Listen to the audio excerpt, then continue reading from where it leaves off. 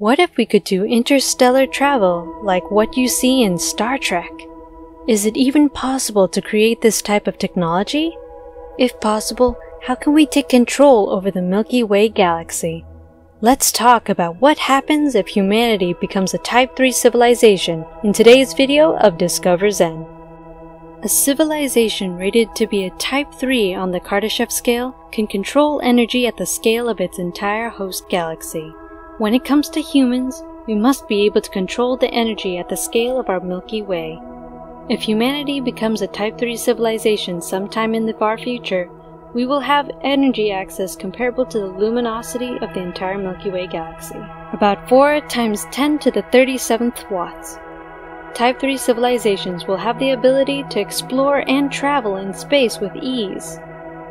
By the end of Type 2 civilization, interstellar travel would be common and humans would have expanded to the entire solar system. But being a Type 3 will be a very different one for us. The transition from Type 1 to Type 2 civilization will take about 2,000 years, but the transition from Type 2 to Type 3 will take somewhere close to a million years. The Milky Way galaxy is about 105,700 light years in diameter. So, when we become a Type 3 civilization, we must figure out a way to move faster than light. We might be able to use wormholes or even invent warp engines to travel and communicate between any two points in the galaxy. There is no way of finding the type of technology we would have in one million years from now, but we can only imagine how fascinating it would be. We would even finally understand black holes, and we would have to use its whole energy, as an estimated 10 million to a billion of them around our Milky Way, so we would literally have an infinite amount of energy easily available across any given part of our space colonies. We would even be able to terraform any planet which is uninhabitable. Now let's talk about our daily life and general technological advancements when we reach Type 3 in the Kardashev scale. Population explosion will be a thing of the past. Since we will be spread out across the whole Milky Way galaxy, there will not be an issue for us with the population. We might leave Earth completely and move to other planets, but there is even a possibility that we will create our own planet after we become a Type 3 civilization.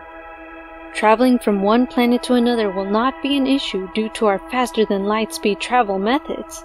We would even be able to create perfect artificial intelligence, which when combined with robots can give even more power and capabilities to humans. All humans might even become a cyborg and also be able to connect to everyone's thoughts. We might even upload our brains into computing network servers. There are some companies like Neuralink that are working in this direction of creating a brain-machine interface and even trying to achieve brain and artificial intelligence symbiosis. In conclusion, if we don't kill ourselves with our own actions like World War III or climate change, we will reach Type 3 and develop even further in a very sustainable manner. Do you think that 1 million years seems too less or too far to reach Type 3 civilization for humans? But what happens if we become a Type 1 civilization in the next 100 to 200 years? That sounds like a different scenario to speculate on Discover Zen.